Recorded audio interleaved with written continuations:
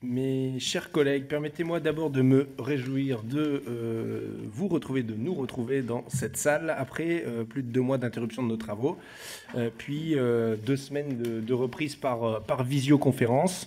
Nous recevons les représentants de trois associations de victimes. Donc pour France Victimes, M. Jérôme Bertin, directeur général, et M. Jérôme Moreau, trésorier. Pour la Fédération nationale des victimes d'attentats et d'accidents collectifs, Mme Sophia Seco, directrice générale, et Madame Grazier Latron, chargée des affaires publiques. Et pour Enquête de justice, Madame Corinne Morel, présidente, et Madame Brigitte Aubray, secrétaire.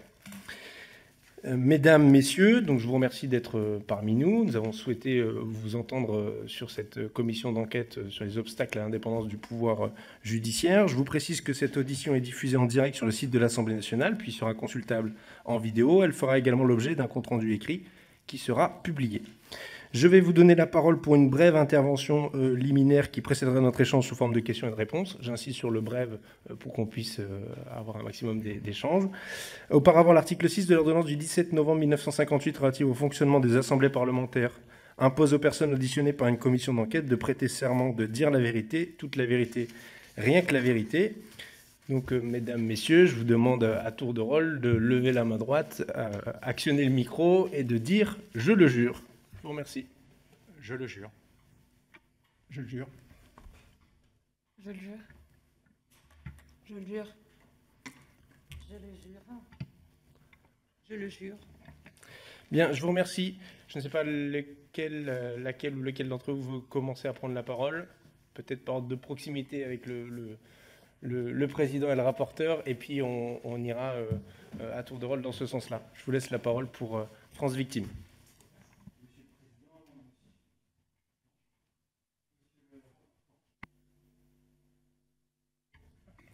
Monsieur le Président, Monsieur le rapporteur, euh, donc euh, je vous remercie de nous donner la parole euh, concernant cette redoutable question des obstacles à l'indépendance du juge judiciaire. Je voudrais simplement rappeler que France Victime est une fédération d'associations d'aide aux victimes que le directeur général va vous présenter et après je prendrai la parole pour répondre à vos questions que nous avons eues déjà depuis quelques jours. Et pour, euh, pour en effet ne pas forcément trop, euh, trop alourdir les, propos, euh, nous représentons ici un réseau de 130 associations professionnelles agréées par le ministère de la Justice, dont le rôle est d'apporter une écoute et un soutien à toute personne qui s'estime victime, quelle que soit la cause de, leur malheur, dans l'esprit qui était celui de Robert Badinter à l'époque lorsqu'il a influencé la création de, ce réseau. Notre réseau est un réseau spécialiste de l'accompagnement judiciaire qui reçoit environ 300 000 victimes chaque année à ce titre-là, euh, nous participons également à différents euh, dispositifs publics et c'est à travers cette expérience de, 40 ans d'aide aux victimes que nous allons intervenir auprès de votre commission avec une, précision tout de même, je me permets, Monsieur le Président, c'est que le rôle d'une association d'aide aux victimes n'est pas de représenter les victimes en justice. L'agrément, en effet, nous interdit de nous constituer partie civile. Nous les accompagnons euh, à côté d'autres professionnels ou d'autres associations qui, elles, les représentent. Voilà, c'était simplement les propos liminaires et M. Moreau va rajouter quelques éléments. Alors, concernant les obstacles, nous en avons listé un certain nombre concernant la fédération. Et tout d'abord, euh, bien évidemment, c'est la question budgétaire qui euh, surgit en premier puisque nous souhaitons mettre en lumière, euh, encore une fois, au nom euh, de la manifestation de la vérité pour les victimes, eh bien, tout ce qui pourrait relever euh, d'un dysfonctionnement qui viendrait tempérer l'indépendance du juge. Le manque de moyens se, trouve dans plusieurs situations et notamment, tout d'abord, le recours aux experts. En effet, nous le savons, les experts ne sont pas assez nombreux sur le territoire. Les experts euh, interviennent dans moult domaines et, euh, bien évidemment, va surgir la question des contre-expertises qui devient, dans le cadre d'une pénurie d'experts, de plus en plus complexe, avec la possibilité de confronter, en fin de compte, la première expertise. Et de la confrontation des expertises naît forcément le débat et, in fine, la manifestation de la vérité. Euh, je reprendrai euh, un exemple, les unités médico-judiciaires. les unités médico-judiciaires qui s'apparentent à la médecine légale du vivant, aujourd'hui ne sont pas euh, légion sur le territoire, loin s'en faut. Aujourd'hui, on voit bien les difficultés que nous avons à les créer. Moi-même, en tant que président de l'association de la Nièvre, nous en avons créé une euh, il y a à peu près 18 mois dans des conditions extrêmement difficiles. Et donc il a fallu la ténacité, j'ai envie de dire même la pugnacité de Madame la préfète de la Nièvre et de Madame la procureure générale et de Madame la procureure de la République pour que cette unité puisse voir le jour au sein de l'hôpital. Et cette unité médico-judiciaire a dans la justice, euh, j'ai envie de dire, classique, un rôle de déterminer l'étendue des préjudices subis par une victime. Et je vous rappellerai que euh, dans le cadre d'une infraction euh, de plus de 8 jours, enfin, ou l'ITT de plus de 8 jours, eh bien, euh, les peines ne sont pas les mêmes. Et donc, ne pas permettre, en fin de compte, un recours aux victimes, à ces unités médico-judiciaires, vient bien donc faire prendre un droit, et donc le juge ne pourra pas statuer utilement sur des certificats médicaux de constatation des blessures extrêmement rigoureux et précis. Euh, l'autre idée, euh, c'est euh, l'histoire des crédits limitatifs. Aujourd'hui, on le sait, avant le ministère de la Justice et les cours et les juridictions étaient en critères évaluatifs. Aujourd'hui, on est en critères limitatifs, ce qui vient quand même à fonctionner enveloppe contrainte. Et je trouve que c'est quelque chose d'extrêmement ennuyeux puisque on voit bien qu'aujourd'hui, dans le cadre des enveloppes, eh bien, il faut les respecter et on peut se demander si, ici ou là, sur le territoire, un certain nombre d'expertises refusées aux victimes ne viennent pas, en fin de compte, euh, d'un problème économique et financier et donc viendraient, là encore, euh, tarir euh, une partie de l'indépendance du juge. L'autre difficulté, enfin on pourra développer, hein. mais l'autre difficulté est bien évidemment aujourd'hui tout ce qu'on peut voir sur l'indemnisation des victimes. J'en prendrai deux exemples.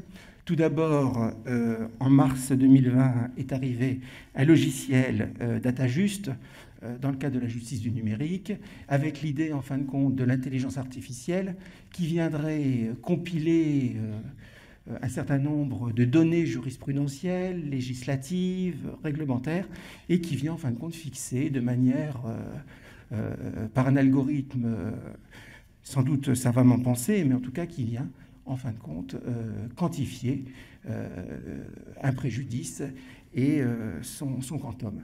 C'est extrêmement compliqué puisque, en fin de compte, sous l'idée de vouloir, en fin de compte, aller vers une égalité.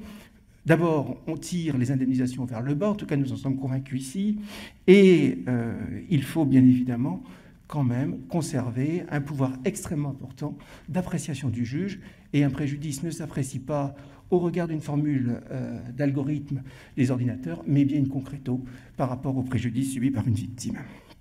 L'autre euh, idée est qu'il faut renforcer l'indépendance euh, et l'autorité de la chose jugée du juge pénal par rapport à la CIVI, par rapport à la commission des victimes. Les CIVI retiennent trop rapidement euh, et trop souvent. Je peux enlever le masque? D'accord.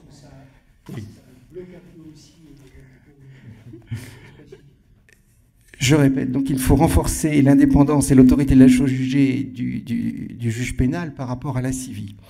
En effet, nous constatons ici ou là, encore une fois, trop souvent, que les commissions d'indemnisation des victimes retiennent une faute de la victime pour amoindrir son droit à indemnisation, remettant ainsi en cause euh, une décision de l'autorité de la chose jugée, soit du juge correctionnel, euh, mais surtout de la cour d'assises. Et euh, là encore, on ne peut qu'y être défavorable.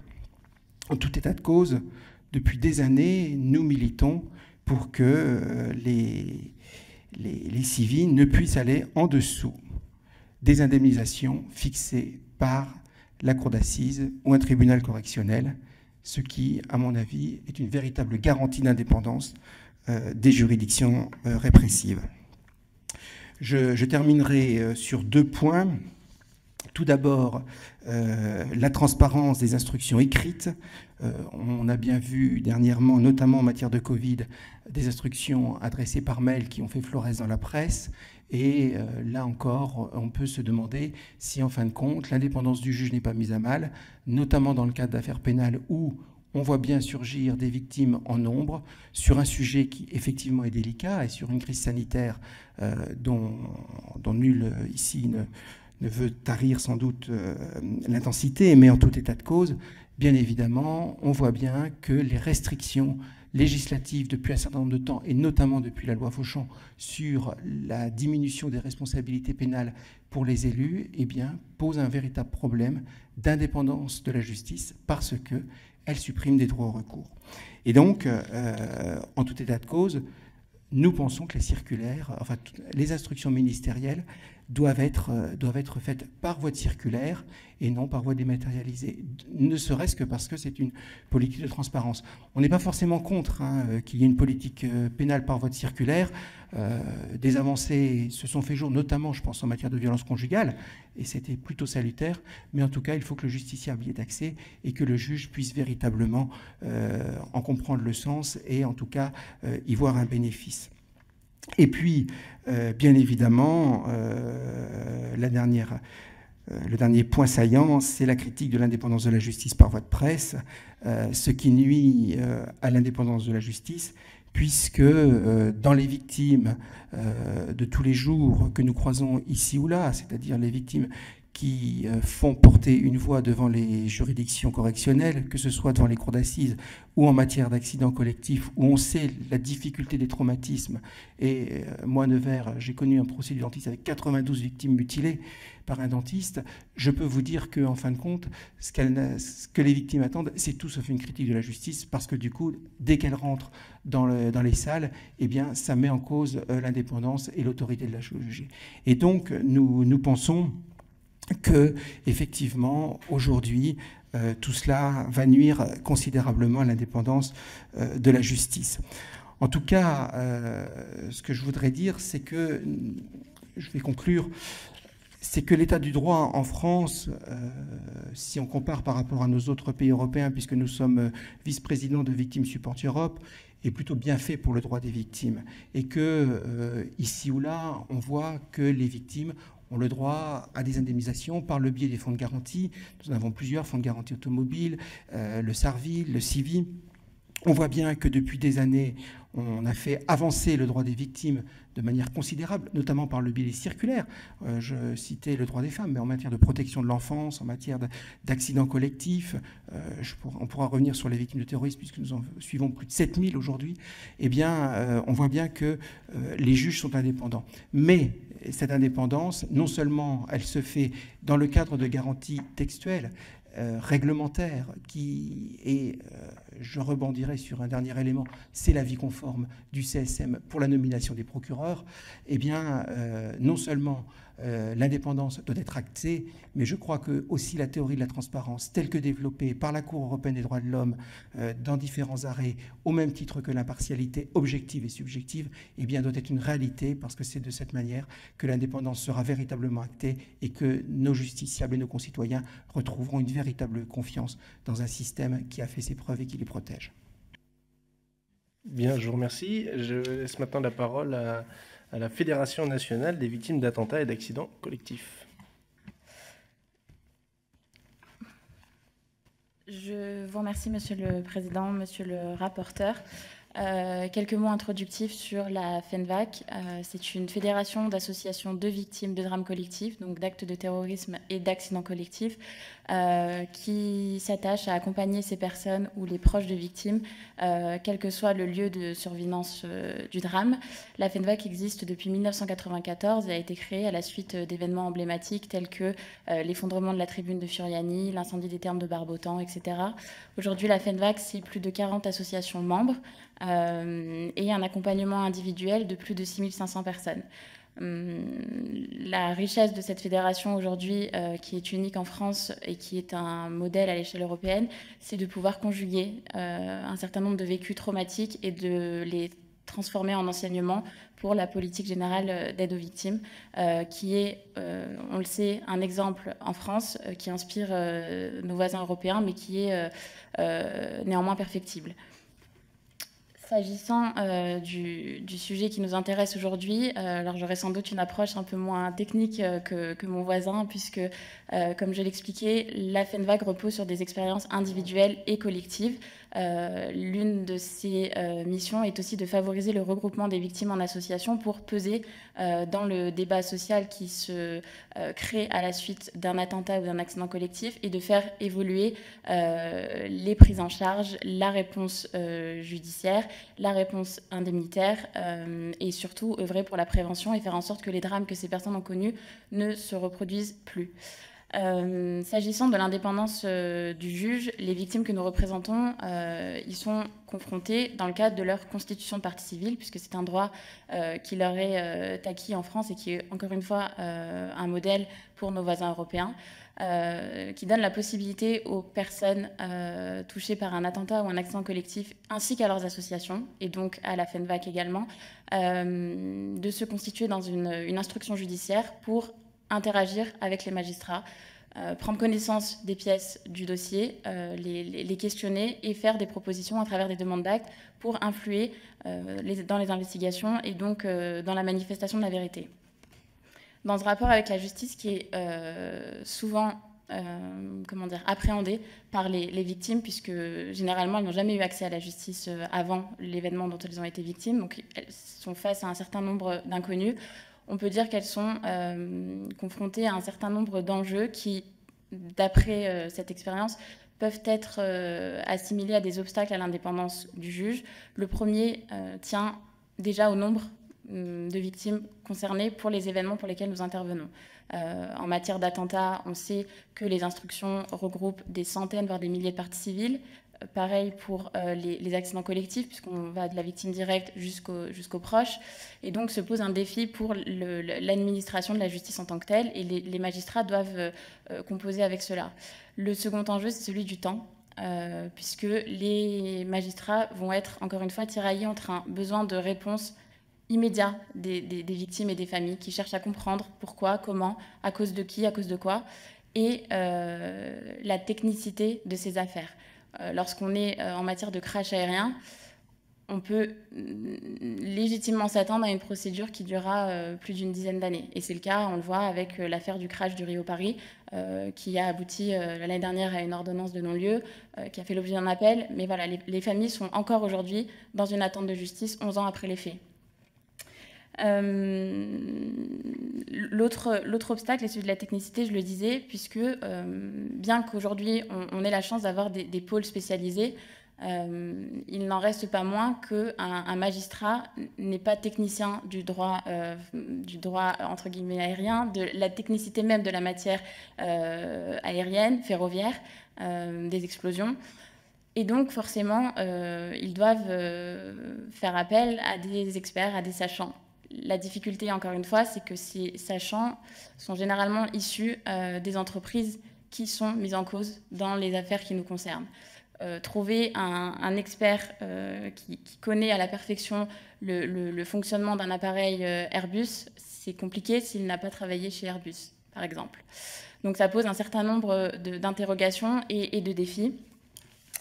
on peut aussi s'interroger sur la pression économique que les décisions euh, des magistrats peuvent, euh, engendrer. Euh, lorsque vous vous retrouvez face à, la SNCF dans, plusieurs dossiers, face à Air France, face à Airbus, qui est le, fleuron de l'aéronautique français, les familles, encore une fois, peuvent s'interroger sur les motivations de la décision du juge. Je, vous en fais part euh, de manière euh, assez, assez brute, mais, mais c'est le cas. Euh, lorsqu'on reçoit une, ordonnance de non-lieu qui, qui écarte Airbus de toute responsabilité dans la catastrophe aérienne la plus meurtrière en France, les familles s'interrogent et se demandent s'il euh, n'y a pas eu euh, des consignes, euh, des, invectives, etc.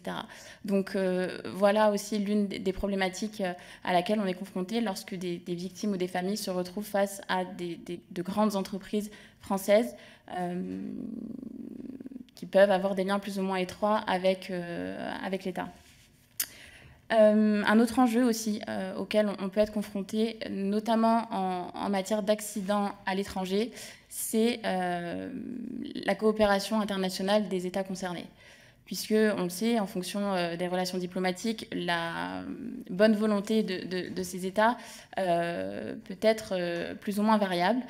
Et les, répercussions sur la manifestation de la vérité et les, diligences effectuées par les magistrats vont, être, vont être, plus ou moins grandes. Si on prend l'exemple du crash égyptaire, on est face à un, pays qui, refuse d'admettre, malgré des, éléments euh, plutôt euh, probant la thèse d'un accident et qui maintient une thèse euh, terroriste. Et vous avez des familles en face qui ont tous les éléments en, possession pour qu'on avance sur cette, sur cette justice, sur cette manifestation de la vérité, et un État qui bloque, qui fait barrage à, la justice qu'elles demandent et dont elles ont besoin pour avancer dans leur processus de deuil et de, résilience. Euh, et enfin, je reviendrai sur ce que vous avez évoqué, à savoir euh, le, décret euh, DataJust, mais de manière plus générale, on est assez inquiet de la mise en œuvre de certains outils qui pourraient nuire à, à, la qualité des décisions des magistrats qui sont nécessairement empreintes d'humanité. Mais comme on l'a expliqué tout à l'heure, le nombre est un défi dans les matières qui nous concernent et on peut comprendre le réflexe naturel que peut avoir un magistrat à, euh, à user d'un outil qui paraît simple, rapide et euh, qui permet sur le papier d'assurer euh, une certaine égalité. On s'oppose depuis toujours à la création de barèmes. Alors oui, nous sommes favorables à la mise en place de bases de données qui soient exhaustives, qui prennent en compte euh, les discussions préalables avec l'assureur, avec le fonds, les arguments des avocats, le contexte général de la situation, pour que les indemnités qui soient reprises dans, ce, dans cet outil puissent être contextualisées et, objectivées un maximum. La difficulté avec les référentiels, c'est qu'on prend euh, des indications qui sont euh, plus ou moins sortis de leur contexte, on en fait une norme et la, crainte, c'est qu'on s'éloigne un peu trop du principe de l'individualisation qui, pour nous, est un principe fondamental de la réparation euh, et qui est extrêmement important pour les victimes et les familles de victimes de drames collectifs qui vont perdre justement dans cet événement euh, d'ampleur leur individualité. C'est une façon aussi de restaurer ce qu'elles ont perdu. Euh, donc voilà, j'ai brossé euh, assez brièvement les différents obstacles, mais euh, on pourra en, revenir dessus plus tard. Je vous remercie. Merci. Je laisse la parole maintenant à l'association Enquête de justice. bonjour. Donc avant toute chose, nous vous remercions de nous auditionner. en fait, pour porter la voix des justiciables, ce qui est assez rare. Euh, donc notre association a été fondée fin 2013. Son objet, c'est de défendre l'état de droit et l'égalité devant la loi et de lutter notamment contre les dysfonctionnements judiciaires et les abus commis dans l'exercice de la justice. Or, nous rencontrons euh, de réelles difficultés pour euh, accomplir notre mission, euh, puisque en France, euh, pourtant pays des droits de l'homme, en l'absence de contre-pouvoir, nous n'avons pas d'interlocuteur, ce qui nous a amené à organiser une plainte collective contre la France devant l'ONU pour signaler ce problème. Notre plainte réunit 858 personnes. Nous avons été reçus à l'ONU devant le Haut Commissariat, aux droits de l'homme fin novembre 2019. Donc, euh, c'est pour situer un peu le contexte euh, de notre association. Donc, euh, notre ligne, c'est la Déclaration des droits de l'homme et du citoyen. Nous y sommes attachés au point de demander son affichage dans toutes les salles d'audience de tous les tribunaux. C'est une proposition qui est soutenue par 226 parlementaires. Et si nous demandons l'affichage de la Déclaration des droits de l'homme et du citoyen dans toutes les salles d'audience de tous les tribunaux, ce n'est pas pour les décorer ou pour faire joli, c'est pour que la, justice française respecte ce texte qui rappelle euh, une multitude de principes fondamentaux, dont le premier est la liberté et l'égalité en droit. Et euh, au niveau de l'égalité en droit, euh, on en rencontre régulièrement des atteintes dans l'exercice de la justice. Et donc notre rôle, c'est d'interpeller l'élu à ce sujet. Et chaque fois qu'on interpelle l'élu à ce sujet, donc euh, au niveau de dysfonctionnements judiciaires qui font échec au principe d'égalité devant la loi, on nous oppose l'indépendance de la justice, la séparation des pouvoirs, quand ce n'est pas les deux. Donc euh, la présente commission porte sur les obstacles à l'indépendance de la justice, mais il nous paraît important aussi de parler des limites, euh, puisque euh, si on ne parle pas des limites, il pourrait arriver qu'on prenne pour un obstacle ce qui est de l'ordre d'une limite et d'une saine limite. On ne peut pas envisager une indépendance totale. Une indépendance totale par un glissement sémantique, devient du totalitarisme, et au niveau du justiciable, ça pose de véritables problèmes. La seule façon de parvenir euh, à poser euh, des limites à cette indépendance de la justice, c'est de respecter la séparation des pouvoirs, de la respecter, pas de l'instrumentaliser, puisque si on revient à l'esprit de la séparation des pouvoirs, et Dixit Montesquieu, que je vais me permettre de citer, pour qu'on ne puisse abuser du pouvoir, il faut que par la disposition des choses, le pouvoir arrête le pouvoir. Donc notre question, c'est qui arrête le pouvoir du juge? Si l'élu ne peut pas intervenir quand le juge abuse de son pouvoir, qui peut intervenir? Nous, nous ne demandons pas que l'élu intervienne dans le cours régulier de la justice. Il est bien évident que le juge doit pouvoir exercer sa fonction sans subir de pression de toute nature, y compris de pression politique. En revanche, et en contrepartie, le justiciable doit être protégé de l'arbitraire.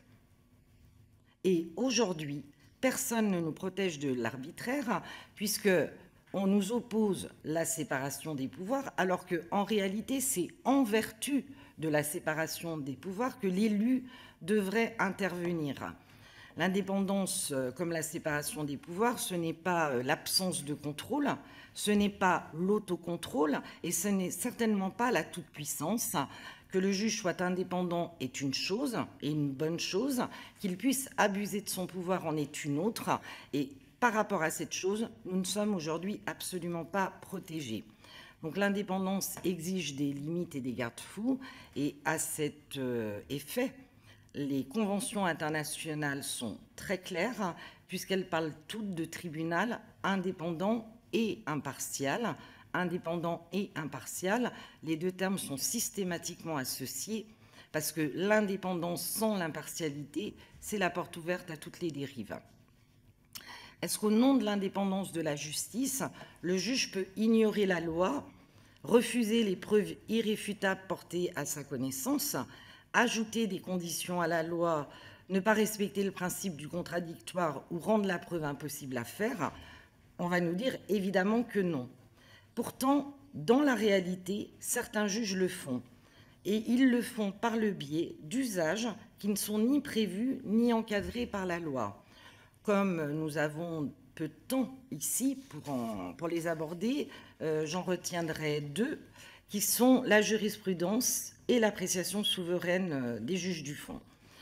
Euh, sachant que ces deux euh, usages, dont je, dont je rappelle qu'ils ne sont ni prévus ni encadrés par la loi, et ça, ça nous pose, nous, un véritable problème, puisque la démocratie, par principe, c'est le consentement. Or, le peuple n'a jamais consenti à la jurisprudence et à l'appréciation souveraine des juges du fond. La jurisprudence, je vais commencer par la jurisprudence, elle s'oppose par nature à l'article 6 de la Déclaration des droits de l'homme et du citoyen qui dit une chose très importante, la loi est l'expression de la volonté générale. Or, la jurisprudence, c'est l'expression de la volonté du juge. Donc, on a déjà ici un empiètement du judiciaire sur le législatif parce que le juge n'a aucune légitimité démocratique pour faire la loi. La jurisprudence pose un autre problème et qui n'est pas euh, des moindres, c'est qu'elle permet euh, de créer donc tout un réseau de règles qui sont diverses et variées, parfois contradictoires entre elles, souvent contradictoires entre elles, et même contradictoires avec la loi. La jurisprudence dit une chose, la loi le contraire. Et là, on perd l'autre partie de l'article 6 de la Déclaration des droits de l'homme et du citoyen, qui est la loi doit être la même pour tous, soit qu'elle protège, soit qu'elle punisse. Ce qui est impossible avec, la jurisprudence, et euh, on le voit par la variabilité qui va croissante des décisions de justice. Enfin, et là c'est un danger qu'on ne peut pas ignorer, comme la jurisprudence permet aux juges de changer la règle, de créer une règle à tout moment et en cours de procédure, ce qui est une violation de l'esprit de la loi, puisqu'on sait qu'aucune loi n'est rétroactive, hein, il faut être prévenu à l'avance des règles euh, sur lesquelles on va être jugé, eh ben, nous ne sommes pas protégés du risque que le juge crée une nouvelle jurisprudence pour favoriser une partie. Et on perd de facto le principe de l'impartialité. Euh, les révolutionnaires souhaitaient la suppression de la jurisprudence, euh, ce qui est tout à fait dans l'esprit de l'abolition des privilèges. Et privilège veut dire loi privée. Le principe, c'est que si le justiciable n'est pas jugé en fonction de la loi qui est la même pour tous, la justice ne peut pas être la même pour tous. Le deuxième problème, c'est l'appréciation souveraine des juges du fond, donc qui est euh, à nouveau un concept créé de toutes pièces par les juges, qui n'a jamais été voté, qui n'est absolument pas encadré par la loi et qui, peut évidemment donner euh, l'occasion à toutes les dérives. Euh, le juge doit contribuer à la manifestation de la vérité et le juge ne peut certainement pas entraver la manifestation de la vérité et on attend du juge une appréciation objective, raisonnable, vérifiable, une appréciation objectivée, ce qui fait que tout le monde devrait pouvoir comprendre une décision de justice. Or, beaucoup de personnes, et il suffit de les interroger, ne comprennent pas les décisions rendues euh, parce qu'on est en plein obscurantisme judiciaire, sachant que l'appréciation souveraine des juges du fond, c'est par euh, euh, principe, hein, les principes créés par les juges, la possibilité offerte aux juges d'écarter des pièces, arguments et faits, sans avoir à s'en expliquer, sans le justifier et en raison de son appréciation souveraine. On comprend bien que si on écarte les pièces, les faits ou les arguments qui prouvent, qui apportent la preuve euh, d'un préjudice ou d'une demande, euh, il est impossible d'obtenir justice et les organes de contrôle, que sont la Cour de cassation et le Conseil d'État, se retranchent derrière l'appréciation souveraine des juges pour ne pas, euh, euh, écarter des pourvois ou pour ne pas annuler des décisions pourtant entachées d'irrégularité.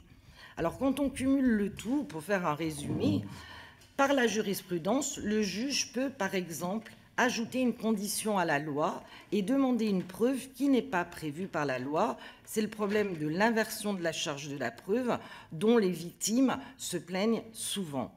Ensuite, par son appréciation souveraine, il peut écarter tous les éléments de preuve, même ceux qui prouvent indiscutablement la réalité d'un fait, euh, sans avoir donc à s'en expliquer. Trois, les organes de contrôle approuvent et même cautionnent ces procédés. Et quatre, le politique n'intervient pas.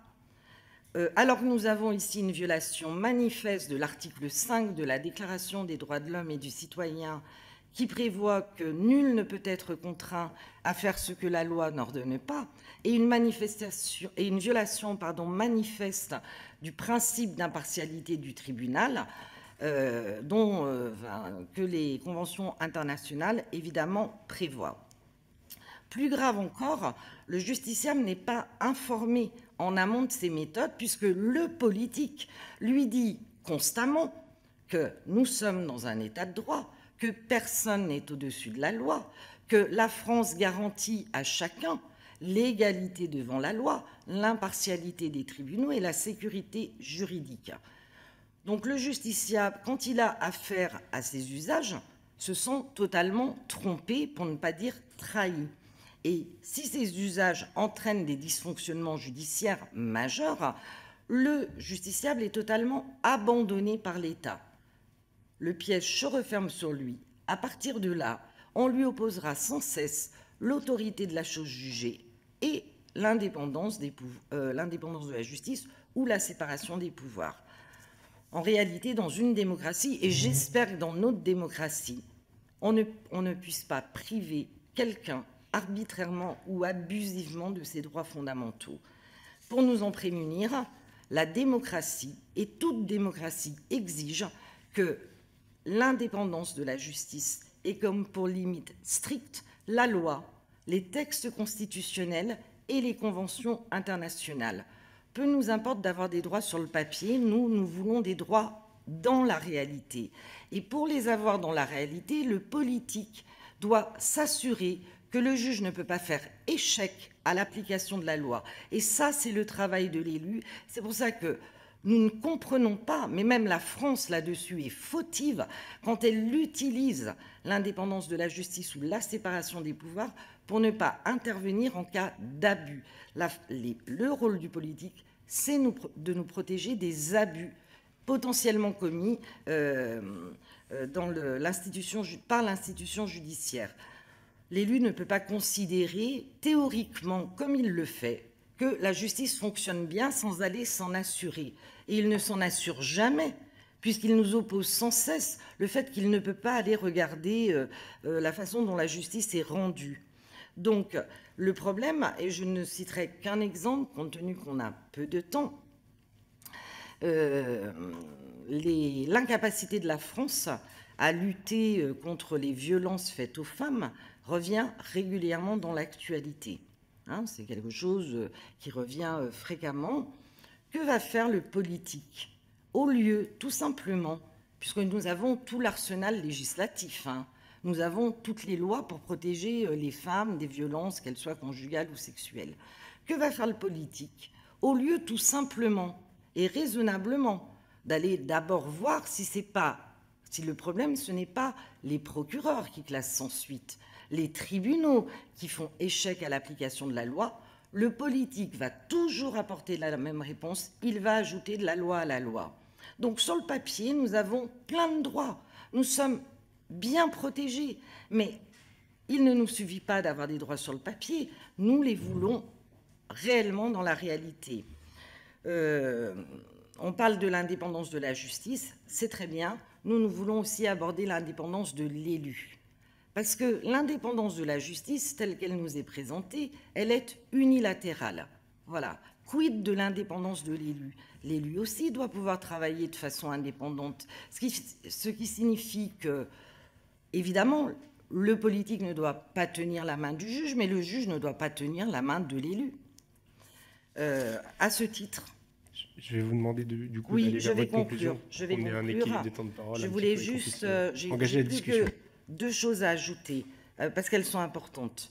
Euh, euh, par rapport à l'indépendance de la justice, nous considérons qu'il n'est pas normal que les magistrats exercent des pressions sur le politique, direct ou indirect, chaque fois qu'il est question de, prévoir un contrôle externe de ce qui se passe dans les tribunaux. Il n'est pas non plus normal d'avoir des magistrats dans les ministères, dans les organisations euh, d'État, puisque ça peut potentiellement euh, altérer l'indépendance de l'élu.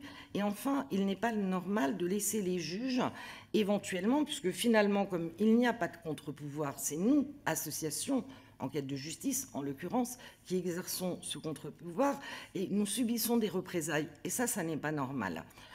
Donc nous demandons l'examen des dysfonctionnements judiciaires. C'est le rôle de l'État, c'est le rôle de politique. D'ailleurs, la loi le dit. L'État est tenu de réparer les dommages causés par le fonctionnement défectueux du service public de la justice. Donc la loi, nous l'avons. Il n'y a pas besoin de la créer. Et pour conclure, je rappellerai que la justice est un service public entièrement financé par l'argent public. À ce titre, le peuple est légitime à demander des comptes, ne serait-ce que pour, euh, sur le travail des juges, ne serait-ce que pour s'assurer que l'argent public n'est pas gaspillé par des procédures qui auraient pu et dû être évitées. Il faut savoir que les dysfonctionnements judiciaires participent pour beaucoup à la multiplication des procédures qui participent elles-mêmes à l'engorgement des tribunaux le peuple est d'autant plus légitime à demander des comptes que les décisions sont rendues en son nom.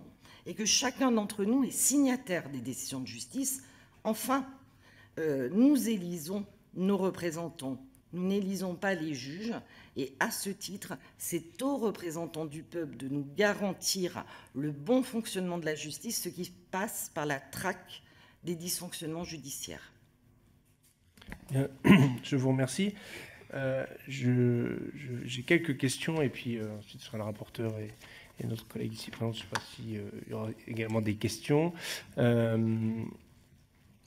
Il y a des, procédures qui sont prévues dans, notre droit quand on a un soupçon sur un magistrat de, son indépendance, la procédure de récusation notamment, mais aussi toutes les procédures pour aller devant le Conseil supérieur de la magistrature quand on est parti.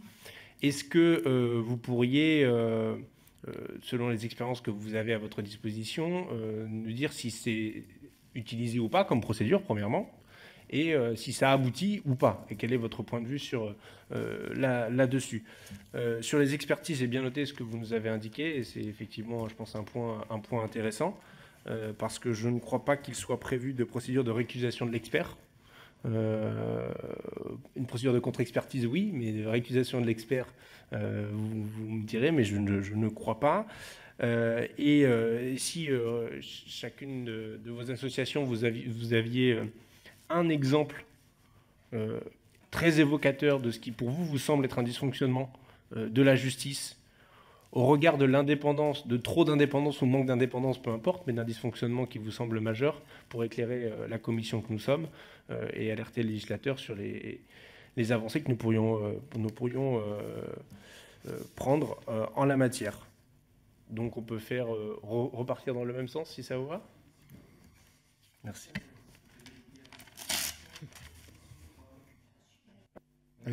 Alors, effectivement, il existe donc tant au niveau du droit français qu'au niveau des conventions internationales, euh, dont je rappelle quand même que les justiciables euh, peuvent euh, y avoir recours une fois les recours internes épuisés, c'est-à-dire donc une fois que la Cour de cassation pour le juge judiciaire, le Conseil d'État pour le juge administratif, qui, je le rappelle d'ailleurs historiquement, ne statue que par le biais de jurisprudence, même si on a eu des avancées législatives après et qu'on a, qu'on codifié, mais euh, on a quand même historiquement eu une justice administrative qui s'est créée sur la jurisprudence pour protéger d'ailleurs, euh, notamment en matière d'indemnisation des victimes, en matière de responsabilité du fait des actes de l'administration, eh c'est quand même le juge qui est venu au secours des victimes.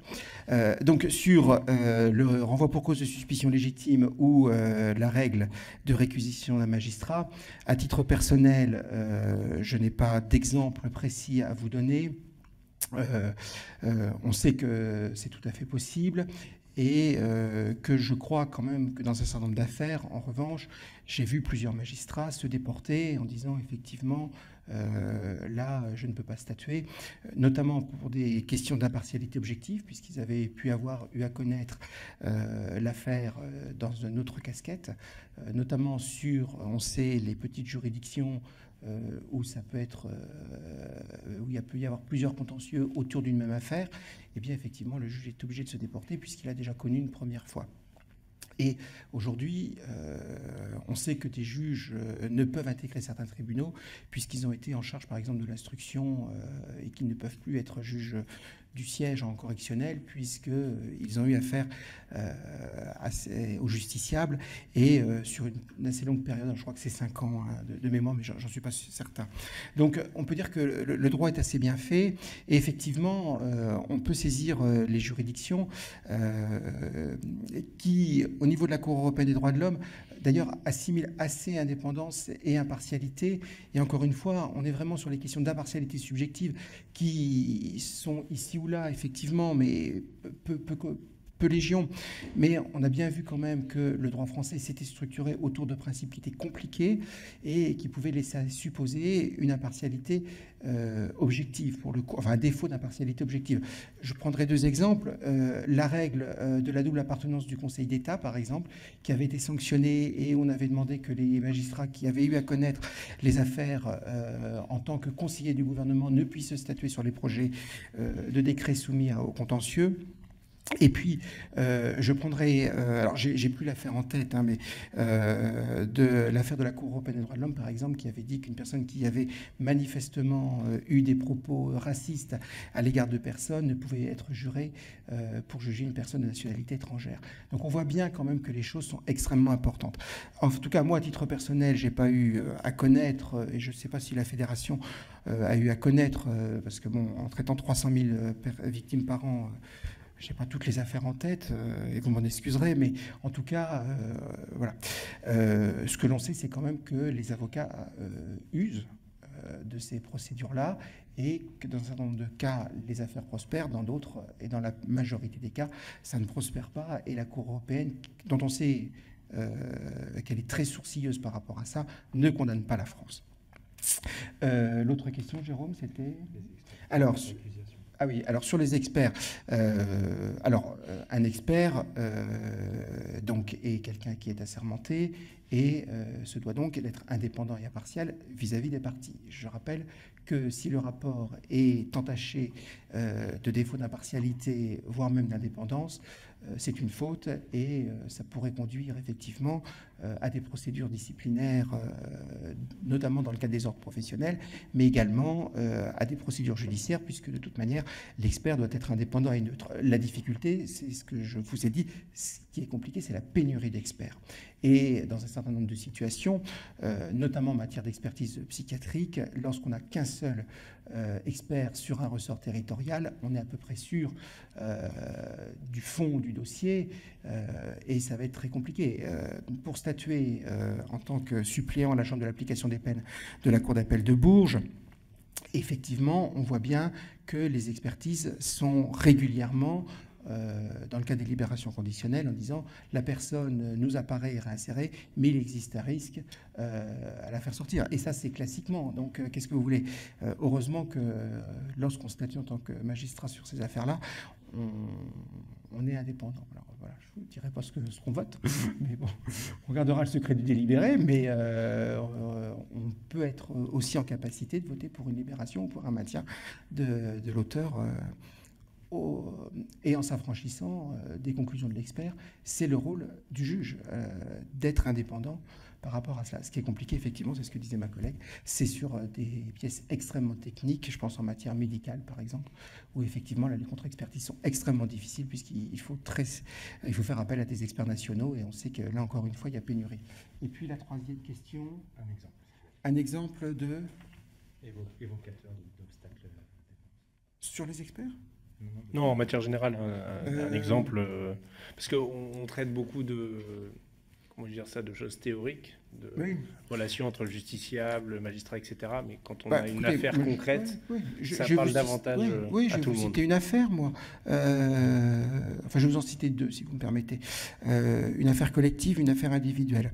Nous, la création de l'UMJ dans la Nièvre s'est faite après le fait qu'un enfant qui euh, se plaignait d'abus sexuels de la part d'un auteur, euh, a fait, euh, enfin les parents ont fait les quatre services d'urgence du département et n'ont pu trouver un médecin qui a pu faire les expertises et les investigations nécessaires pour dire si oui ou non, en plein été, c'était au mois d'août, si oui ou non il y avait effectivement eu agression sexuelle, voire viol. plainte a été déposée, le juge a dit, mais moi, j'ai aucune expertise. Donc, euh, voilà. donc, je pense que là, pour le coup, c'est une vraie affaire. Euh, voilà. Et donc, on a décidé, euh, au changement de, de, procureur, on a repris notre bâton de pèlerin avec Madame le procureur de la République et Madame le procureur général pour essayer de faire en sorte que l'on ne se trouve pas dans ces, dans ces situations-là et que des auteurs puissent être effectivement poursuivis en matière d'agression sexuelle. Et voilà comment on a pu construire l'EMJ qui est devenu un véritable outil d'expertise et qui permet en fin de compte au juge d'avoir une pièce certaine et euh, qui ne soit pas aléatoire euh, sur des simples considérations qui viendraient euh, tout simplement aboutir à un non-lieu.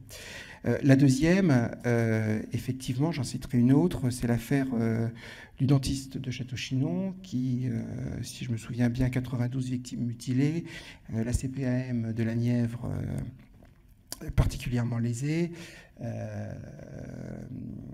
qui a été condamné à 8 années de prison, qui venait des Pays-Bas Et la difficulté a été, au départ, de faire la part des choses entre ce qui relevait de l'art médical fautif de l'infraction pénale. Et pour le coup, les premières plaintes ont été difficiles à recevoir puisque on n'avait absolument rien. Et le juge euh, de l'époque euh, disait mais moi je n'ai aucune expertise, je n'ai rien et euh, je ne peux pas, en fin de compte, sur la simple base du fait que vous avez des abcès, que vous ne pouvez plus manger, qu'on était obligé de vous arracher toutes les dents, poursuivre quelqu'un. Donc il a fallu, en fin de compte, faire un collectif.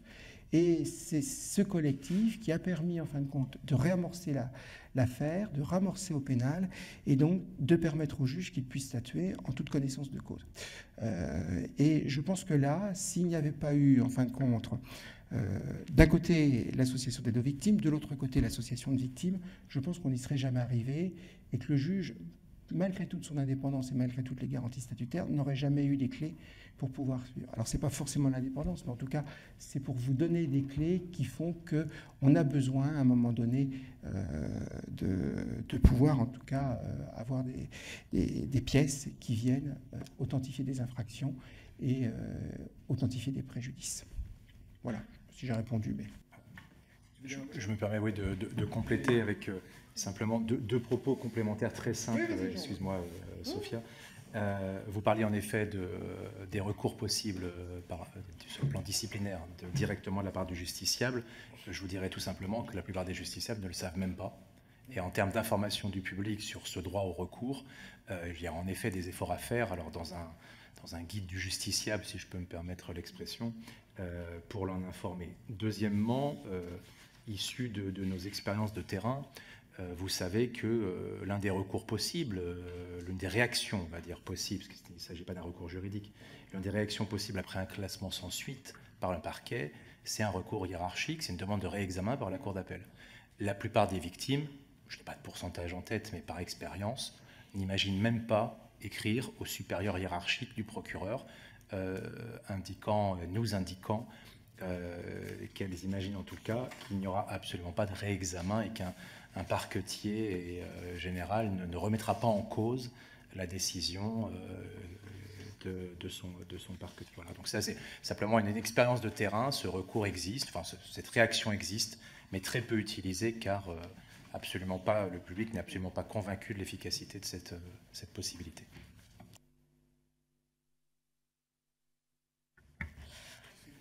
Aucun problème. Euh, pour répondre à vos deux interrogations sur la, procédure en tant que telle, euh, fort heureusement, la FENVAC n'a jamais eu à, aller dans ce sens-là. En revanche, il nous est arrivé de solliciter le dépaysement euh, d'un dossier pour qu'il soit rapatrié auprès des pôles spécialisés parisiens qui disposent de plus de moyens et, qui ont une approche technique plus rassurante, en tout cas pour notre fédération. Euh, pour euh, vous donner deux exemples euh, significatifs du sujet qui nous intéresse aujourd'hui, en matière de terrorisme, l'un d'entre eux pourrait être celui qui concerne l'assassinat d'Hervé Gourdel ou la prise d'otage d'Ina Menas, donc deux événements survenus en Algérie avec une enquête miroir euh, ouverte en France. Et euh, malgré des années de procédure, on peut vous dire qu'aujourd'hui, dans le dossier français, rien n'a été versé, rien d'exploitable en tout cas, et que les familles euh, françaises sont complètement dépourvues d'éléments par rapport aux, circonstances du, décès, mais aussi concernant la, perspective du procès qui se, qui se profile en Algérie. Et pour laquelle elles sont complètement spectatrices à ce stade. Donc ça, c'est pour le, volet euh, terroriste. Il y a aussi l'affaire de l'attentat du musée du Bardo avec un procès qui se tient en, Tunisie et des victimes euh, françaises euh, obligées de suivre ça à distance par une visio non interactive avec une image fixe des accusés, les privant de, toute, de tout échange avec les magistrats, de prise de parole de leur avocat français, etc. etc. Euh, bien que des progrès aient été faits en la matière pour permettre justement une prise en charge des frais de déplacement de, ces victimes euh, à l'étranger pour assister au procès. En matière d'accident collectif, l'un des exemples euh, assez révélateur de, la problématique et qui est plutôt d'actualité, puisque, comme je le disais tout à l'heure, on, célébrait le, 11e anniversaire de ce crash. quand on parlait de, des experts et, du manque peut-être d'indépendance par rapport aux grandes entreprises qui, bénéficient d'un certain monopole en la matière, il faut savoir que suite au crash du vol Rio-Paris, euh, Air France et Airbus ont rapidement été mis euh, en examen, ce qui a plutôt rassuré les familles. Et quelques années après, on apprend que les, expertises se déroulent dans l'entrepôt euh, d'Airbus sur des simulateurs Airbus avec le personnel Airbus. Alors même que déjà des indications permettaient de savoir que l'une des causes du crash pouvait tenir au dysfonctionnement d'un matériel Airbus. Donc, euh, autant vous dire que pour les, parties civiles euh, et les familles, ça, pouvait euh, et un autre cas assez symptomatique aussi, c'est à la suite d'une catastrophe ferroviaire d'ampleur. vous avez le, transporteur qui se précipite sur les lieux pour récupérer les boîtes noires avant la justice et en faire sa propre interprétation, voilà, au risque de dissimulation et tout autre euh, euh, problème euh, qu'on peut supposer. Donc voilà, ça, reprend ce que je disais tout à l'heure, mais ce sont des, obstacles ou des entraves qui, pour nous, sont aujourd'hui problématiques dans la manifestation de la vérité et la justice pour les, pour les victimes. Merci. oui, donc il me semble que vous nous avez expliqué euh, qu'il y avait évidemment des recours, des voies de recours. C'est d'ailleurs ce qu'on nous objecte toujours. Sauf que les voies de recours, bah, d'abord, prolongent hein, dans le temps, coûtent cher. Euh, il faut savoir que j'ai parlé tout à l'heure du service public de la justice euh, entièrement financé par l'argent public, mais les procédures elles-mêmes sont financées par le justiciable. Et euh, alors évidemment, il y a l'aide juridictionnelle, mais les seuils sont extrêmement bas. Euh, après, vous avez les personnes qui ont beaucoup d'argent et les moyens de se payer euh, de gros cabinets d'avocats. Et puis vous avez la majorité, comme toujours, qu'on appelle grosso modo la classe moyenne, qui ne bénéficie pas de l'aide juridictionnelle et qui n'a pas de gros moyens financiers, ce qui fait que les voies de recours au bout d'un moment, quand on a mis 3 000 euros pour la première instance, 3 000 euros pour l'appel, on sait que la cassation, c'est extrêmement cher c'est 4 000, 5 000, 6 000 euros, euh, voire 8 000. Si la cassation annule, il faut que ce soit rejoué, euh, rejugé. Pardon. Ça veut dire qu'on va repayer la cour d'appel. Donc on atteint des sommes euh, qui sont absolument pharaoniques. Et les voies de recours, bon, c'est pareil. En théorie, c'est très bien, mais c'est pas parce qu'il y a des voies de recours. Encore faut-il pouvoir les utiliser. Et deuxièmement, les voies de recours, au départ, elles ont été créées pour permettre la réouverture des débats aux partis euh, qui n'étaient éventuellement pas d'accord sur la décision rendue. Mais les voies de recours ne sont pas prévues pour euh, corriger, euh, si j'ose dire, les abus de pouvoir commis par les juges. D'ailleurs, si c'était le cas, il serait quand même incroyable qu'on mette à la charge du justiciable des erreurs et des fautes qu'il subit et qu'il n'a pas commises. Ça, c'est quand même incompréhensible. Je vais prendre une métaphore. Si euh, j'amène ma voiture chez les garagistes, que le garagiste fait mal le travail, qu'on me dit saisissez une commission en la payant, qui va me dire ah bah oui, le garagiste a mal, fait son travail, puis maintenant on va me dire bah vous retournez devant un, un autre garagiste et vous repayez. Et c'est ce qui se passe, c'est-à-dire on paye la procédure d'appel, on paye la cour de cassation, si c'est annulé, on repaye la cour d'appel. Donc on paye trois fois pour que quelque chose soit jugé. Alors on va nous dire, oui, mais la justice peut mettre euh, l'article 700 euh, à la charge de l'autre partie, mais l'autre partie non plus n'est pas responsable. Si la décision est annulée, c'est parce qu'elle n'est pas conforme aux règles de droit. Il n'y a pas de responsabilité du justiciable. Comment se fait-il que ça soit le justiciable qui paye? Donc ça, si vous voulez, les voies de recours, c'est un peu le côté facile pour nous dire vous avez des solutions. Mais outre que ces solutions, en réalité, beaucoup ne peuvent pas les, les prendre. Il faut avoir les reins sacrément solides pour pouvoir tenir un parcours euh, judiciaires de 10 ans, 15 ans, 20 ans, euh, etc. Beaucoup ne peuvent pas le faire et beaucoup renoncent à leurs droits et perdent leurs droits. Quand je parlais tout à l'heure d'une démocratie qui nous prive parfois de nos droits fondamentaux, c'est une réalité. Parce que quand on ne peut pas payer les voies de recours, il n'y a pas de solution. Mais ensuite, la voie de recours fait qu'on reste en interne, et c'est ce que j'ai développé tout à l'heure, on se retrouve toujours devant le juge. Donc si le juge, il n'y a pas de garde-fou, bah, les problèmes vont se répéter. Voilà, je vais vous citer euh, quelques exemples. On en a énormément et nous, on demande l'examen, mais je vais vous en citer euh, que quelques-uns. Euh, par exemple, une de nos adhérentes donc, est, allée en justice pour dans le cadre d'un divorce et par rapport à une garde d'enfants. Euh, en première instance, euh, la garde a été confiée au père, euh, donc cette mère a saisi, a fait appel parce qu'elle n'avait pas eu accès à certaines pièces. La cour d'appel a considéré effectivement qu'il y avait une violation de l'article 16 du Code de procédure civile relative au respect du contradictoire et a donc infirmé la décision.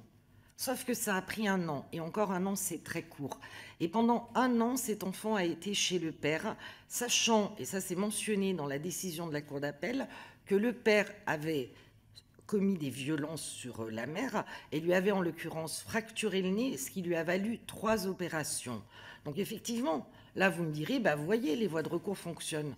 Oui, mais pendant un an, on a laissé en violation d'une loi fondamentale une situation en l'état. Et ce qu'il faut bien comprendre, c'est que quand, par exemple, la Cour de cassation annule une décision, la décision qu'elle annule, elle a produit ses effets. Comment peut-on laisser des décisions produire leurs effets, qui sont parfois des effets très graves et irréversibles? Je vais vous donner un autre exemple, euh, puisque nous, on a vraiment de tout dans l'association du pénal, du civil, le civil étant euh, souvent oublié dès qu'on parle de la justice, alors que c'est très important, le civil, hein, euh, dans, la société. Et euh, on a, par exemple, beaucoup de copropriétaires qui n'arrivent pas à obtenir la simple application de la loi et reconnaissance de la loi dans les tribunaux à propos des comptes séparés qui obligent le syndic à ouvrir un compte séparé pour chaque copropriété. Les copropriétaires, parce que ça pose des problèmes après au niveau de la comptabilité, saisissent les tribunaux et les tribunaux systématiquement considèrent que ça n'est pas grave s'il n'y a pas de compte séparé. Donc la, loi, on n'en obtient pas l'application. Et alors là, on peut faire tous les étages. Euh, le juge a décidé que ça n'était pas grave, ça n'est pas grave. Donc à ce moment-là, pourquoi voter une loi si derrière, c'est pour nous dire qu'elle n'est pas grave. Voilà. Et je citerai un troisième cas euh, qui relève bien aussi des, problèmes qu'on peut rencontrer, euh, qui, à propos du droit d'auteur, et pour montrer la diversité des cas, euh, le droit d'auteur n'autorise pas le juge à juger l'œuvre, ce qui est très important dans une démocratie. Hein. Donc le droit d'auteur dit clairement que l'œuvre est protégée, quelle que soit sa destination, sa forme, son genre et son mérite. Or, aujourd'hui, quand un auteur saisit la justice à propos d'une atteinte à ses droits, par exemple une reproduction illicite de son œuvre, faite de surcroît sans le citer, les juges ont rajouté un critère, c'est ce que je disais tout à l'heure à propos des, euh, contraintes euh, non prévues par la loi, qui est celui d'originalité. Ça, ça n'est pas prévu par la loi. Donc il demande à l'auteur de faire la preuve de l'originalité de son œuvre. C'est a priori facile, c'est l'antériorité, le style, le traitement des idées personnelles. Sauf que le juge écarte tous ces éléments pour apprécier subjectivement l'originalité et donc l'œuvre. Donc il faut savoir que c'est un combat que nous menons depuis plusieurs années. C'est actuellement aux mains du ministre de la Culture. J'ai été auditionnée, moi, personnellement, euh, par le CSP, là, le Conseil supérieur de la propriété littéraire et artistique, euh, sur ce problème que je connais très bien. Et le Conseil supérieur de la propriété littéraire et artistique, on attend depuis deux ans, deux ans, alors qu'on ne laisse pas ce temps aux auteurs dans les tribunaux. Les auteurs dans les tribunaux sont sommés de faire cette preuve. On ne sait pas comment la faire, mais l'auteur est sommé de la faire. Et le Conseil supérieur de la propriété littéraire artistique, ça fait deux ans. Et là, c'était pour boucler la boucle. Ce qui pose problème, c'est que c'est une émanation du ministère de la Culture. Hein. les locaux sont au ministère de la Culture. Le président et le vice-président sont tous deux magistrats. Donc, quand je parlais euh, de la présence de magistrats dans les ministères ou dans les, émanations du ministère, ça pose un problème, puisque quand on sort des tribunaux, qu'on y parvient, ce qui est très dur, pour dire là, il y a une jurisprudence qui pose problème, on se retrouve de nouveau devant des juges en dehors des tribunaux. Bien, je vous remercie. Je vais laisser la parole à Didier Paris, rapporteur, pour les questions suivantes. Désolé, on vous coupe le micro, madame. Euh, peut-être plus que des questions, sont des, réactions aux interventions des uns et des autres. Donc je vous prends euh, à la suite, ce sera rapide. Euh, s'agissant de France Victime, déjà juste en un mot, vous pouvez nous dire quelles sont les sources de financement de votre structure En un mot.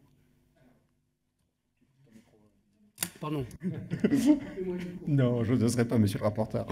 Euh, donc, euh, nous sommes euh, principalement financés pour ce qui est de la fédération par le ministère de la Justice et nous avons quelques ressources propres qui proviennent de formation.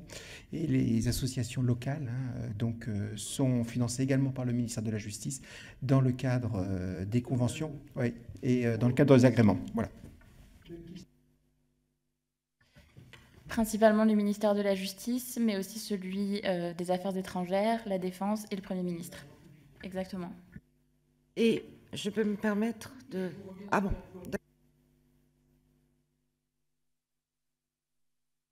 d'avoir bien compris votre explication. On parle bien de l'indépendance de, la justice hein, et, vous développez euh, une explication en disant on aimerait que les décisions des cours d'assises euh, s'impose finalement au juge civique. J'ai compris à peu près comme ça. En réalité, on a un système français où, la faute pénale, aussi faible soit-elle, entraîne l'intégralité de la responsabilité pénale, mais ce n'est pas le cas de la faute civile. La faute civile peut se partager, peut se répartir. Bien, est-ce que c'est ça que vous mettez en cause en termes d'indépendance ou est-ce que c'est autre chose? J'ai pas compris. Euh, c'est dans le cadre des fonds de garantie, euh, donc la CIVI la commission d'indemnisation des victimes d'infraction. Donc c'est un fonds de garantie euh, qui dépend du FGTI et euh, donc le fonds de garantie va indemniser dans le cadre de critères préalablement définis pour euh, les délits suffisamment graves, le SARVI pour, on va dire, les délits les plus faibles, les victimes d'infraction. Et ce fonds de garantie, euh, à l'occasion de l'examen du dossier d'indemnisation des victimes, encore une fois que ce soit pour les délits les plus graves ou les crimes, et euh, pour euh, les, délits de moindre importance qui, obtiennent des dommages intérieurs en dessous de 2000 euros, je crois. Mais Jérôme vous dira les choses techniques un peu mieux, plus précisément que. Le, la CIVI peut dire que la faute de la victime, et là on est plus sur quelque chose qui est, à mon avis, du domaine de la responsabilité civile, mais bien l'appréciation par le fonds de garantie d'une faute supposée de la victime, dans le cadre de l'indemnisation par rapport à un fonds de garantie. Et euh, ça revient à dire, en fin de compte... l'indépendance de la justice en général en, réalité, c'est que l'indépendance qui est indiquée euh, dans les articles 706.3 et suivants du Code de procédure pénale, l'indépendance de cette commission d'indemnisation qui reçoit la demande d'indemnisation d'une victime, cette indépendance de la commission vient directement heurter en fait l'autorité de chose jugée et indirectement l'indépendance des premiers juges qui éventuellement eu à connaître de l'affaire, qui ont statué sur l'indemnisation. Et la commission, en fait, peut revoir à la fois euh, en hausse ou en baisse euh, de sa propre appréciation, peut revoir le quantum de l'indemnisation, et par ailleurs, et c'est ce, que soulignait euh, M. Moreau, peut éventuellement faire ressortir également une faute de l'invictime qui réduirait son droit à indemnisation. Autant vous n'aviez pas été opposé au GIVAT, par exemple? Au GIVAT. Ça concerne aussi, mais euh, un système qui permettrait de, de ne pas euh, euh, ralentir le cours de l'indemnisation des victimes compte tenu du procès pénal en cours et qui permettrait une meilleure harmonisation parce que centralisation, alors ça concerne peut-être plus votre, votre structure, mais pour ce qui vous concerne, vous avez une position là-dessus je, laisserai peut-être en effet la, la vague parler du, du GIVAT. Simplement pour ce que nous avions proposé par rapport à la CIVI, parce que c'est ce qui pouvait paraître choquant pour, pour un, justiciable, c'est que la CIVI, sur le plan à minima du quantum euh, ne puisse pas remettre en cause la décision précédente qui a, la décision pénale qui a statué sur les dommages intérêts. Elle ne... Oui, si, c'est sur parce qu'en fait, tu lances des questions intéressantes qui me, forcent, à, poser plus de questions. Euh, quand, il y a diminution du quantum ou augmentation, je ne sais pas si ça arrive euh, souvent, ça arrive aussi. Ok, donc s'il y a aussi augmentation et pas seulement diminution, est-ce que c'est strictement sur une faute de la victime qui aurait été découverte par la CIVI ou est-ce que ça peut être sur d'autres motifs? C'est laissé à la libre appréciation de la, commission, de la, de CIVI, qui est une, une commission échevine. Hein. Il y a deux magistrats et un citoyen qui représentent le, les victimes en général. Cette commission est complètement indépendante pour, apprécier le quantum, euh, en hausse ou en baisse. donc voilà, ça, il n'y a pas de, pas sans forcément relever de faute. Ça peut être aussi par rapport à euh, la, jurisprudence ou par rapport justement à des, outils tels que DataJust sur lesquels ils vont se référer, se en disant bah, habituellement, dans tel cas, dans une situation à peu près similaire, les gens obtiennent telle somme et euh, c'est souvent d'ailleurs l'argument qui est mis en avant par les avocats ou les, victimes devant cette commission, c'est de dire que euh, pour X raisons, euh, l'indemnisation a mal été évaluée. Peut-être que la, situation a évolué. C'est quelque chose qui est très favorable, qui est très favorable aux victimes. Hein, ça, nous, ne remettons pas en cause cette indépendance. ce qui est choquant en revanche, c'est quand quelque chose a été, a été jugé. Donc à minima, ne pas, ne pas venir en dessous de ce qui a été jugé.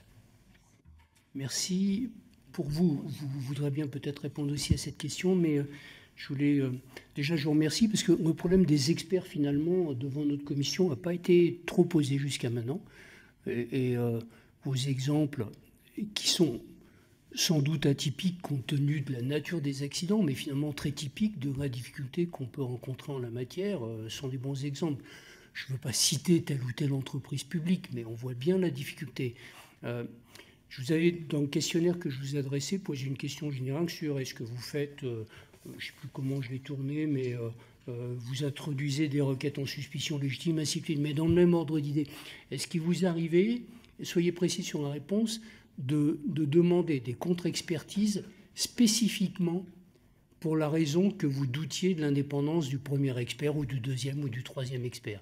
Est-ce que c'est vraiment une question qui vous a amené à rentrer dans un processus judiciaire révélant une forme d'indépendance profonde, parce qu'on sait très bien, vous avez raison, le, juge ne peut pas tout savoir, il est obligé, euh, et on le voit, y compris en matière sanitaire, de, faire confiance à, des sachants, après à lui d'apprécier, mais il fait confiance. Est-ce que cette question-là a été abordée dans ces termes-là? Et, le cas échéant, comment on pourrait mieux la résoudre? J'en profite pour vous poser une deuxième question. Vous avez euh, fort logiquement montré la, limite de l'indépendance de la justice française quand elle est tenue par des justices ou des procédures étrangères. C'est une vraie réalité. On voit bien une progression de l'espace judiciaire européen. On le sent moins sur un espace judiciaire extra-européen. Vous avez donné des exemples qui sont, euh, malheureusement parlant, je dirais, euh, s'agissant des victimes et des familles des victimes qui attendent toujours la résolution de leur, euh, de leur, euh, de leurs difficultés ou de, des, attentats dont elles ont été victimes. Comment on pourrait améliorer cette question? Est-ce que votre fédération a, a, des points de réflexion là-dessus? Moi, je ne parle pas du parquet européen et autres, qui sont des, des notions tout à fait circonscrites. Qu'est-ce qu'on pourrait faire de plus, au moins pour avoir un poids politique plus fort en la matière? Voilà. Et n'oubliez pas la question aussi sur le financement.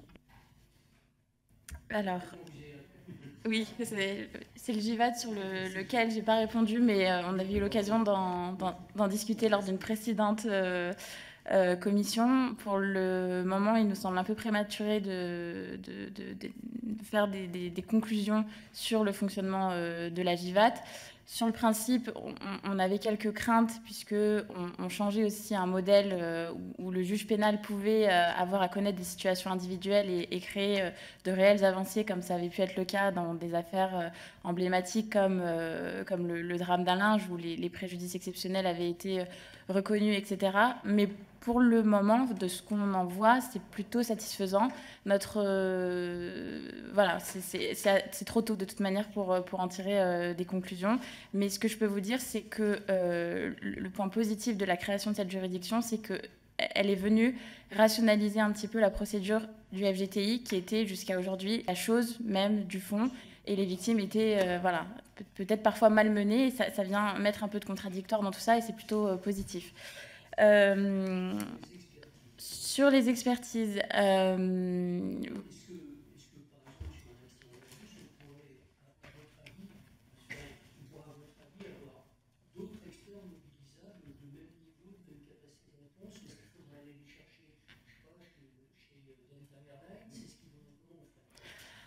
En fait, la difficulté à laquelle on est confronté euh, sur les sujets euh, qui, nous concernent, c'est la, pénurie, la, faiblesse du nombre d'experts formés à des questions euh, extrêmement techniques.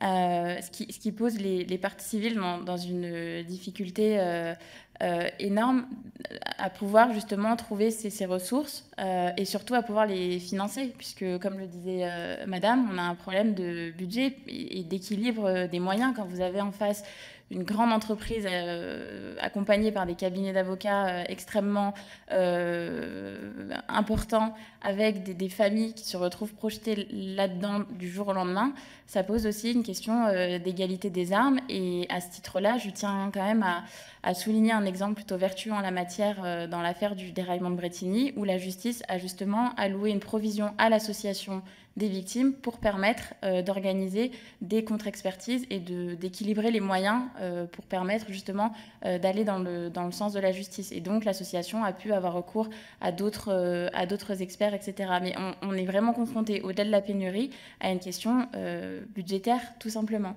Donc il y, y, a une double, une double difficulté à laquelle aujourd'hui, en dehors de cette provision ad litem, on n'a pas forcément de réponse. Excusez-moi. Je, reprends juste ma question à laquelle vous n'avez pas bien répondu. Est-ce qu'il vous est concrètement arrivé de demander des contre-expertises ou des surexpertises pour ce seul motif de présomption de manque d'indépendance du premier expert, concrètement ou pas?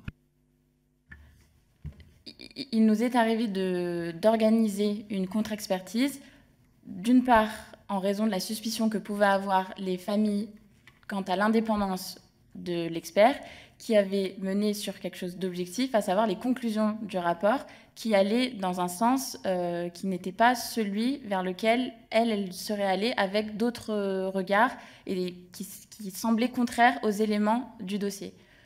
Donc la question de l'indépendance, elle se retrouve aussi dans les conclusions qui, pour nous, sont fondamentales. Pardon?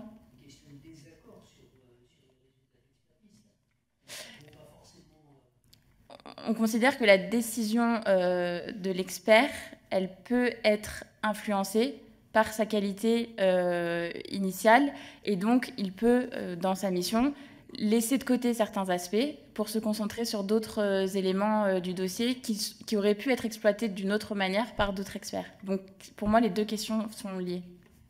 ce que vous mettez en avant, c'est la, la, difficulté à avoir du contradictoire dans l'expertise. Souvent, l'expertise est vue comme quelque chose, le sachant, c'est, il apporte euh, une information verticale qu'il faut prendre pour argent comptant, et alors qu'en fait, elle, est, elle doit pouvoir être soumise, elle aussi, au contradictoire. Et que là, pour soumettre au contradictoire, souvent, on vous explique que... Euh, euh, bon, ça coûte un peu d'argent et qu'on va s'arrêter là et que c'est bon, on a ce qu'il faut. D'ailleurs, est-ce que vous pouvez me confirmer que ce sont les, juges pendant leurs instructions, les juges d'instruction, ou alors le parquet quand c'est du côté du parquet, euh, qui explique qu'il n'y a pas assez d'argent pour faire d'autres expertises Est-ce que c'est un argument qui vous a avancé tel quel euh, de cette manière-là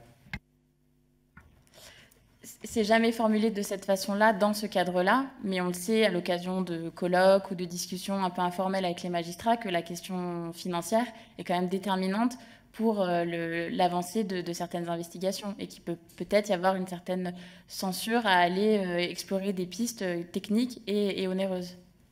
Je me permets de vous poser la question parce que devant euh, les parlementaires que nous sommes, quand on rencontre du budget, l'exécution du budget de la justice, on nous dit qu'il n'y a pas de problème de budget en matière d'expertise et qu'il y a suffisamment de, marge de manœuvre et que ça a été rationalisé. En tout cas pour 2020, par exemple, que c'est que c'est le cas.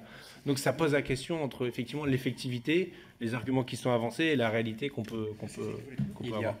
Il y a, euh, au-delà d'un problème budgétaire, il y a aussi une difficulté quelquefois en termes de choix de l'expert, soit par manque euh, d'experts suffisamment formés pour les affaires très techniques dont, la FENVAC parlait, ou euh, sur le bien d'un territoire. Enfin, je, me permettrai de citer les territoires ultramarins qui ont des vraies difficultés parce que là, l'insularité ne permet pas toujours de, de contredire les experts ou d'en choisir euh, par ailleurs, par expérience, j'ai été moi-même pendant plus de 7 ans assesseur dans une commission d'indemnisation.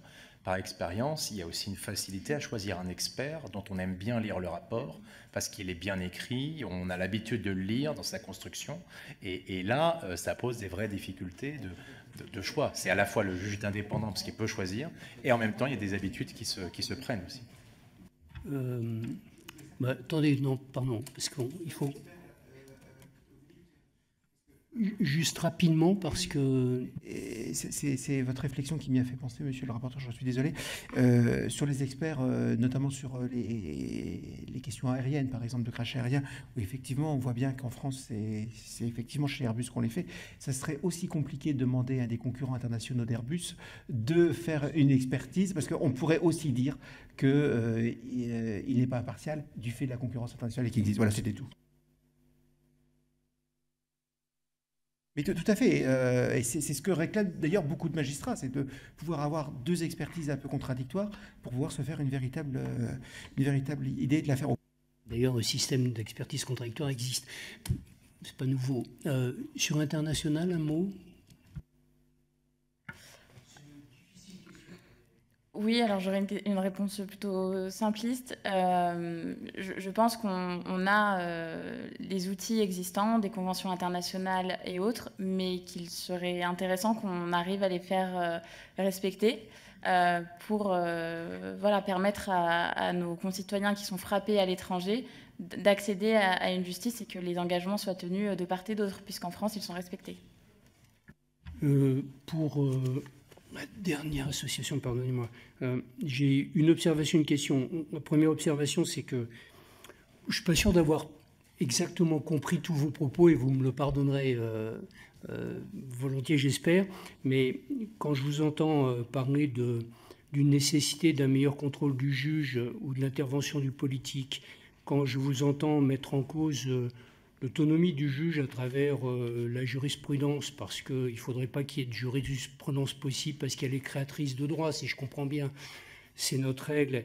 Et quand je vous entends contester le rôle de la Cour de cassation, donc effectivement, le rôle, c'est d'unifier en droit, et pas en fait, on n'unifie pas en fait, mais d'unifier en droit, ça me laisse, pardonnez-moi, mais un peu penser que c'est une belle définition d'un État totalitaire. La question que je voulais vous poser, c'est euh, vos financements. Alors, euh, je réponds, je pourrais quand même. Euh, voilà. Alors, on, est totalement autonome. Nous sommes financés que par les cotisations et par les dons des adhérents. Voilà. Après, donc, je suis très surprise que vous ayez entendu les propos que j'ai tenus et que vous en fassiez cette interprétation. Alors, je pense que quand même, euh, quand on demande, euh, si vous voulez, euh, qu'on sorte de l'autocontrôle, non, le totalitarisme et la dictature, c'est n'est pas de, des frontières qui ne soient pas totalement étanches. La République, elle doit pas s'arrêter aux portes des tribunaux. Cette sacralisation des juges qui empêche euh, depuis des années, des décennies, euh, peut-être des siècles, euh, en tout cas jusqu'à la, Vous savez, les révolutionnaires, pendant deux ans, il n'y a pas eu de jurisprudence.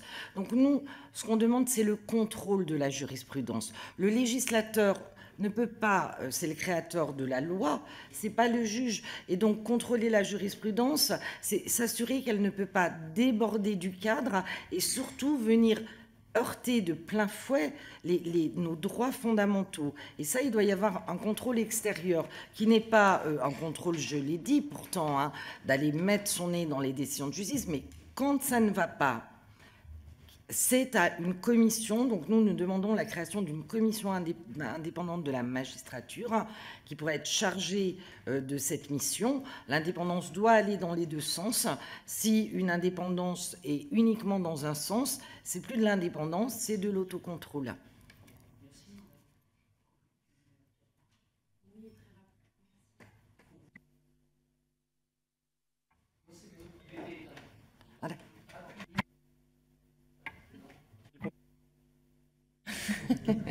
Merci Président, merci Monsieur le rapporteur. Euh, oui, non, comme, comme mon collègue, j'étais, en fait, je, en toute simplicité, hein, j'ai été très étonnée euh, de votre perception de l'article 6 de, la Déclaration des droits de l'homme et de la façon dont vous en faites usage euh, dans le fonctionnement de la justice, même de votre idée de jurisprudence qui serait contraire à l'expression populaire ou de procédure. Enfin, les, les pouvoirs des juges, ils sont quand même euh, établis par la loi, au départ donc par l'expression de la volonté générale. Euh, j'avoue que j'ai un peu de mal à vous suivre là-dessus et que je me dis qu'à minima, ça m'inspire un, grand besoin de dialogue pour comprendre euh, comment fonctionne la justice et, pourquoi il est important que qu'elle puisse aussi avoir une perméabilité. Enfin, vous imaginez, moi, si je pouvais intervenir sur les procédures de mon procureur, je pense que ça serait inquiétant ça serait inquiétant pour mon territoire. Sur ce que vous aviez euh, sollicité, je pense que c'est une véritable inquiétude, c'est important aussi d'y répondre. Sur les, par exemple, quand vous avez pris l'exemple des violences faites aux femmes, euh, sans aller contrôler ce que fait mon procureur, je peux lui demander tout de même de me rendre compte régulièrement où est-ce qu'il en est, comment ça avance, qu'est-ce qui se passe? Et on en parle très régulièrement sur les territoires. D'ailleurs, je voudrais saluer euh, France Victime 34 qui fait un boulot mais remarquable chez nous en matière d'accompagnement de, de, victimes en général, mais des violences faites aux femmes très particulièrement. Il y a un très bon boulot en coordination avec le, avec le PROC. Donc, euh, qu'il y ait des échanges pour vérifier que ça avance, oui. Et ça fait partie du job de parlementaire, qu'être dans l'évaluation et le contrôle, c'est aussi ce qu'on fait là en ce moment. Mais qu'on puisse s'immiscer dans une procédure, ça me semblerait extrêmement dangereux. Effectivement, ça pourrait confiner à du totalitarisme. Donc, je, je, je pense qu'il faut qu'on soit amené à se, à se revoir et à comprendre les choses différemment. Allez-y si vous voulez ajouter quelque chose. Euh, moi, je, moi, alors je suis extrêmement surprise euh, par euh, cette qualification parce que je pense quand même, à un moment donné, c'est très simple. Si vous voulez permettre aux juges de faire de la jurisprudence, il faut l'inscrire dans la loi. Il faut que la jurisprudence, c'est-à-dire cet exercice de création du droit, soit encadré par la loi, que les limites soient préciser, que le justiciable sache ce qu'il doit faire. Quand, euh, si vous voulez, on doit, en tant que justiciable, c'est un, une demande tout à fait légitime, hein, euh, essayer euh, de faire en sorte que la décision qui va être rendue à Bordeaux, à Paris, à Marseille ou dans une petite ville, on ça soit à peu près la même, qu'on n'ait pas des écarts gigantesques, etc.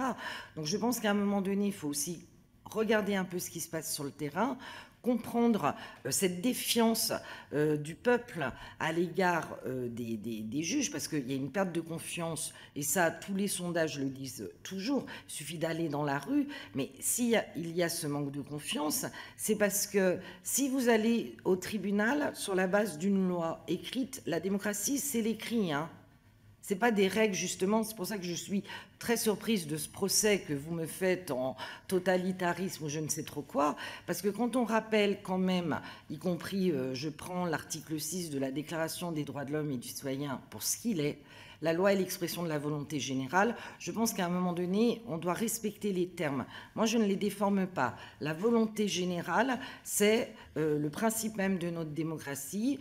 Nous élisons euh, nos, représentants et qui sont légitimes à ce titre pour faire la loi. Donc maintenant, si on sort d'un système et qu'on permet à des gens de faire la loi alors qu'ils n'ont pas, à ce moment-là, bah, il faut prévoir de pouvoir élire nos juges. À ce moment-là, oui, ils pourront faire la loi. Mais pour l'instant, ils ne sont pas élus. Qu'ils puissent changer certaines choses, pourquoi pas créer de la jurisprudence, mais pas hors de contrôle. Voilà. Quand la jurisprudence et la loi se heurtent de plein fouet, il faut que le législateur statue.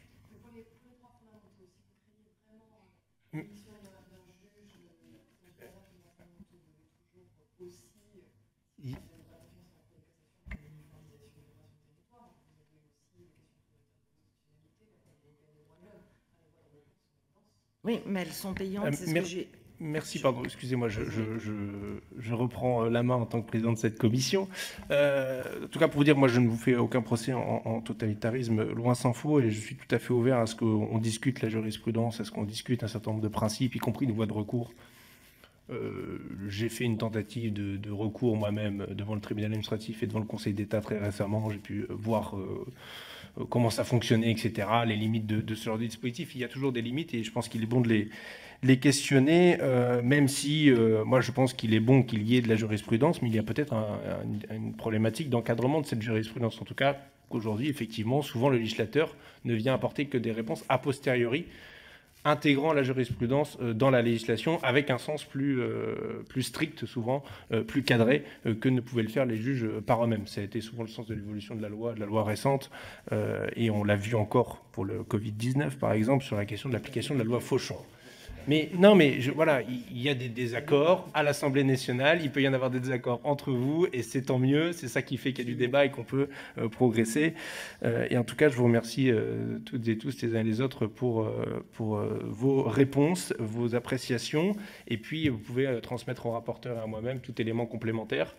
je vous invite, si vous ne l'avez pas encore fait, évidemment, à regarder les auditions précédentes, à regarder les suivantes, si vous avez pareil des, des, ajouts à faire, euh, on est tout à, fait, euh, fait preneur et ça nous semblait en tout cas indispensable sur une commission d'enquête sur l'indépendance de la justice que la voix des justiciables représentés par des associations, parce que tous les justiciables ne peuvent pas être représentés, ce serait bien trop complexe, euh, puissent être entendus, puisque souvent c'est ça qu'on oublie dans le débat judiciaire. On parle des avocats, des magistrats, mais les partis, ça, arrive souvent en dernier, donc ça, ça, nous tenait particulièrement à cœur.